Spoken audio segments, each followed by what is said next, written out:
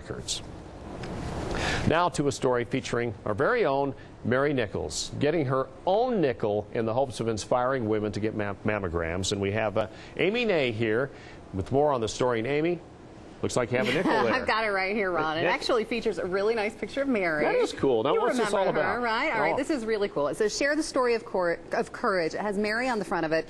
It has her name and cancer survivor, and it's a special token that folks are helping will make someone go do what Mary did less than a year ago, and that was drag herself into a screening. Now, for Mary, she did it for a story right here at 2 News. Folks at Intermountain Medical Center, where they unveiled this new coin this morning, are hoping that this special nickel right here will become somebody's lifesaver.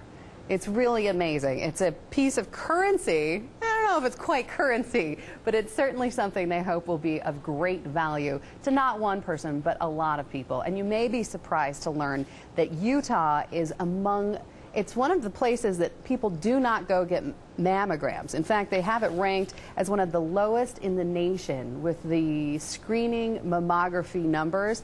They do ask you to go get a mammogram at the age of 40. If you have any family risk, you're asked to go even sooner. We've got a really nice story with Mary being honored with this token. Yeah, it was this morning We're going to show Medical that to Center. you in just a second. We didn't quite have it uh, up here ready to go, unfortunately. Now, Mary has a cold, and her, she was losing her voice today, so that's why she's not here right she now. She still did a wonderful job yeah. speaking at the event. You could tell she was struggling through it, but she sure inspires a lot of women. Uh, and there have been hundreds of women who have gone, maybe even thousands, to get mammograms mm -hmm. as a result of what she went through. She was very public with it. Yes. And uh, I tell you, she, uh, she is so happy to help others and, and to share her experience. That's In fact, I guess we, we have that story right now, so let's take a look at uh, Amy's story.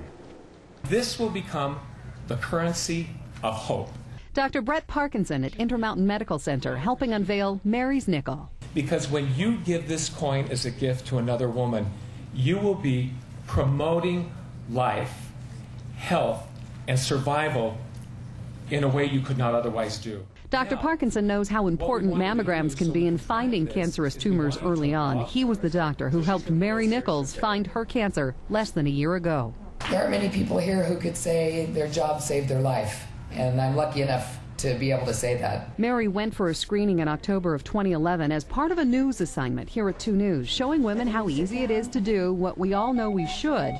But then Mary became her story, discovering in that screening she had breast cancer and sharing her fight and journey through her surgery and chemo treatments with all of us. Because I think not knowing is the hardest part. Not knowing how chemo is going to affect you, not knowing if it's cancer. She now speaks out to other women, hoping to inspire them to find out. Everybody's at risk, whether you have a family history or not. Of 1,500 Utah women diagnosed with breast cancer last year, 1,200 had no family history.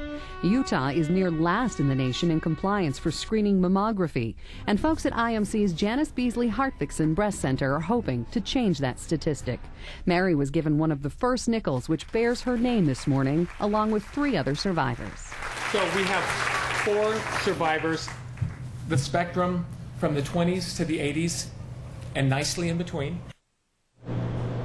Now, all of us, all were asked to pass these on. They each have a serial number, Ron, and you're asked to track it at marysnickel.org. Pretty cool. That is cool. Yeah. All right, and uh, yeah, we'll be happy to see get Mary back here on Monday. Yes. Get her voice back.